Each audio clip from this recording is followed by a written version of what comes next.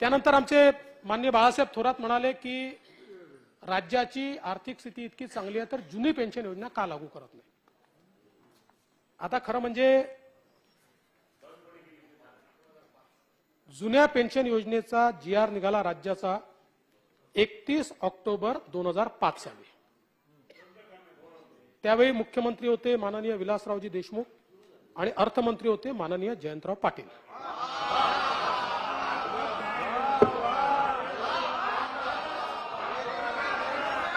हा प्रश्न नाही.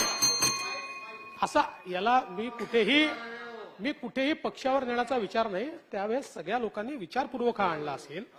कारण शेवटी राज्याची आर्थिक परिस्थिती पाहून मी वरच्या सभागृहामध्ये वाचून दाखवलं की आता हिमाचल प्रदेशने अनाऊन्स केलं. हिमाचल प्रदेशच्या ओन टॅक्स रेव्हेन्यूचं त्यांच्यावर येणारं दायित्व असणार आहे साडेचारशे टक्के फोर फिफ्टी पर्सेंट झारखंडचं असणार आहे टू फिफ्टी पर्सेंट छत्तीसगडचं असणार आहे दोनशे सात टक्के. आणि आपणही आज जर विचार केला भविष्यातला नाहीच भविष्यात ते शंभर टक्के आज अगदी आजचा विचार केला जेव्हा कमी लोक ओन टॅक्स रेव्हेन्यूच्या सगळ्या टॅक्स बेसचा म्हणत नाही ओन टॅक्स रेव्हेन्यू जो आपला आहे त्याच्या एटी फोर पर्सेंट चौऱ्याऐंशी टक्के आपल्यावर हे दायित्व येणार आहे.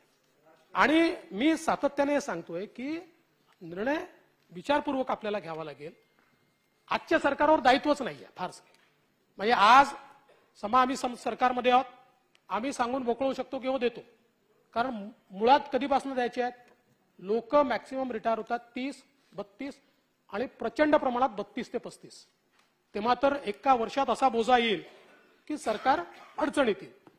त्यामुळे या ठिकाणी खरं म्हणजे नुसतं राजकारण करायचं असेल तर पॉप्युलरली इतर सरकारांनी जे केलं त्यांनाही माहिती आहे.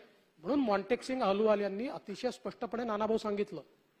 मॉन्टेक सिंग अहलुवाल असं म्हणाले की जे सरकार निर्णय घेत आहेत पुढच्या सरकारच्या डोक्यावर त्या ठिकाणी हा बोजा टाकून ते निघून जात आहेत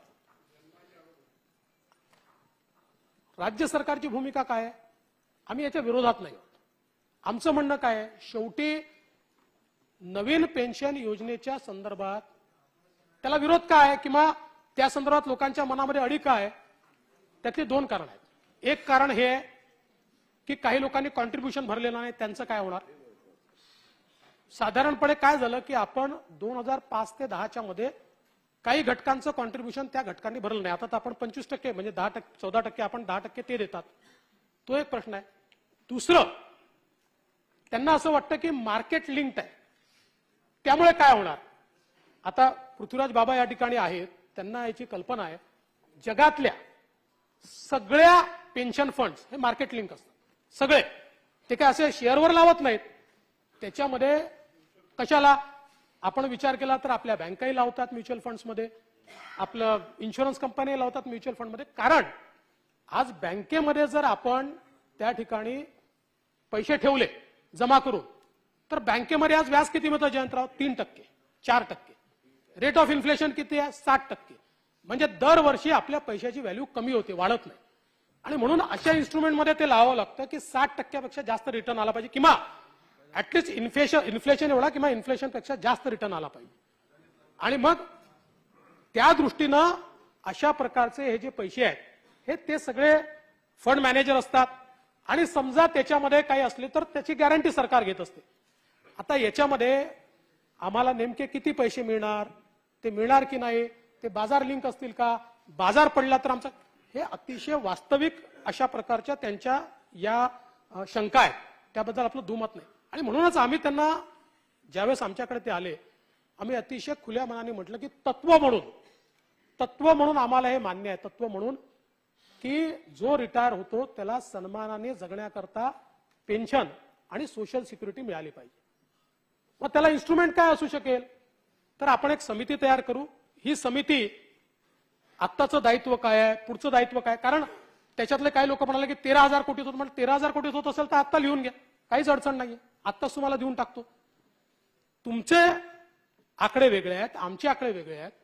एकदा संपूर्ण दायित्व समोर येऊ द्या. दायित्व समोर आलं तर चार पाच पद्धतीनं आपण त्याच्यात वर्किंग करू शकू. आणि त्यातनं सोशल सिक्युरिटी कशी द्यायची? पेन्शनची किंवा रिटायरमेंट नंतर बेनिफिटची सिक्युरिटी कशी द्यायची? काय त्यातला डिफरन्स दूर करता येईल? अशा सगळ्या गोष्टी आपल्याला त्याचा विचार करता येईल. पण त्याच्यावरच जर आपण अडून राहिलो की नाही आता कर्मचारी युनियनचं म्हणणं होतं की तुम्ही आधी घोषित करा की आम्हाला हे मान्य आहे आणि मग अभ्यास करा. आता कन्क्लुजन घोषित करून अभ्यास करणं याला अर्थ नाहीये. आणि बघा जी भूमिका मी घेतली तीच भूमिका दादांनी देखील मागच्या काळात घेतली होती. सेम म्हणजे मी तर ऐकलं नव्हतं त्यांचं. काल परवा त्यांचे ट्विट झालं माझे ट्विट झालं. त्याच लक्षात आलं की जणू काही त्यांची स्क्रिप्ट मी वाचली असं मला वाटलं. इतकं सारखं आमचं उत्तर होतं. कारण आपण नाही त्यांनी दादा नाना भाऊ नाना भाऊ त्यांनी जे उत्तर दिलं होतं ना ते काँग्रेस शिवसेना आणि राष्ट्रवादीच्या वतीने दिलेलं उत्तर. वतीने दिलेलं उत्तर. ते काय अजित पवारांचं उत्तर नव्हतं. नाही नाही मॉन्टेक्सिक अहलुवाल्याचं आणि आमचंही म्हणणं सारखं आहे. मनमोहन सिंग मनमोहन सिंगचे आमचंही सारखं आहे काही प्रमाणात.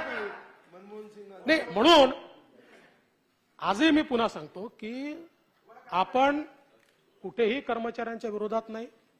कर्मचाऱ्यांना योग्य पेन्शन मिळाली पाहिजे. ते रिटायर झाल्यानंतर त्यांना सगळे बेनिफिट मिळाले पाहिजे. आज मिळत आहे त्यापेक्षा कुठेही काही वेगळं त्यांना कमी असं काही मिळू नये. या दृष्टीनं कालच माननीय मुख्यमंत्र्यांनी तीन अतिशय ज्येष्ठ अशा अधिकाऱ्यांची कमिटी माजी अधिकाऱ्यांची कमिटी केली आहे. आम्ही युनियन्सला देखील विनंती करतो की त्यांनी त्यांच्यासमोर जावं.